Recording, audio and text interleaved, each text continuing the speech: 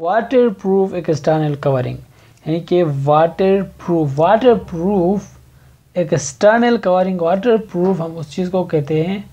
और क्या होता है, उसके जो दरमियान पानी मतलब नहीं जाता है, नहीं गुजरता है, उसको हम क्या कहते हैं वाटर प्रूफ कहते हैं। यानी कि वाटर प्रूफ एक्सटर्नल कवरिंग का मतलब क्या है वाटर प्रूफ बैरूनी तय